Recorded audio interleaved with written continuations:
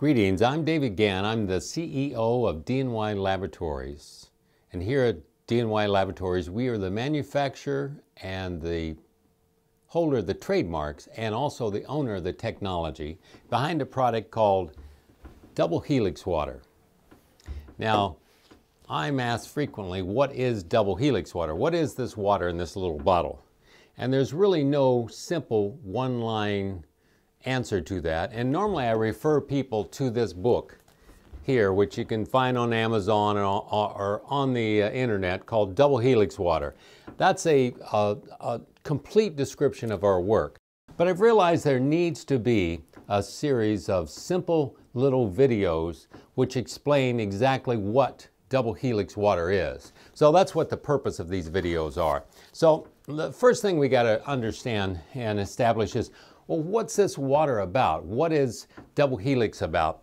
Well, the best answer to that question is it's about you. Uh, your, your body, my body, the people that are filming this today, their bodies, everybody's made out of water. We're made out of about 70% water. Our blood and our lungs are about 90% water. So water makes up the biggest constituent of our, of our body. And it's good to understand that, especially from a fundamental point of view. I'm not talking about some sales line or some buzzword. I'm talking about actually having an understanding of the fundamental of water. And science for many years has considered that water was found in three phases. Uh, a liquid, like glass of water, ice, the solid form of water, and steam or a vapor, which is a which is a vapor basically. Uh, up in the clouds, we have we have vapor that's water vapor. So those were the known phases. And but in 1995, my research partner and I, Dr. Shui-Yin Lo, we stumbled over a very strange phenomena in water. And we began to look at it. And at that time, there was a microscope that had just uh, was finally hitting a commercial market. It was called the atomic force microscope. And we found that we could find a particle inside of water. And upon first, we thought it was a form of ice. And in 1995, we published this paper in physics letters.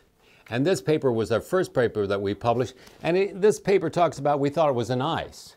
But after many more years, in 2009, after 10, 15 years of research, we published this paper, which is in also in physics letters, and we said, no, it's not ice.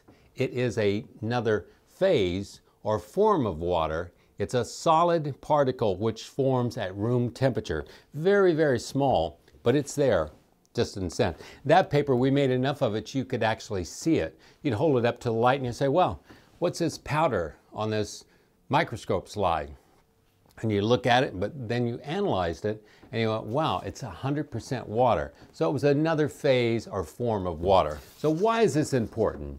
Well, to truly understand ourselves and understand how the, the body self-heals itself, one needs to understand what the basis, the you know, the biggest part of us is water. So so water is important to us to have an understanding of how we, as a as a, a human uh, body, functions. This water is so solely water. It is no contaminants whatsoever in this water. There's no drugs. It's not a curative agent. It is not a drug. It's not meant to cure something or treat a disease.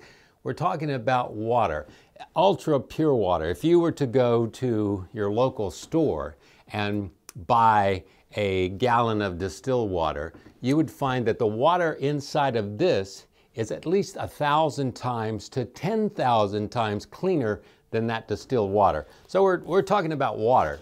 These video installments are basically just uh, little educational purposes to teach you about this newly discovered phase of water. Thank you.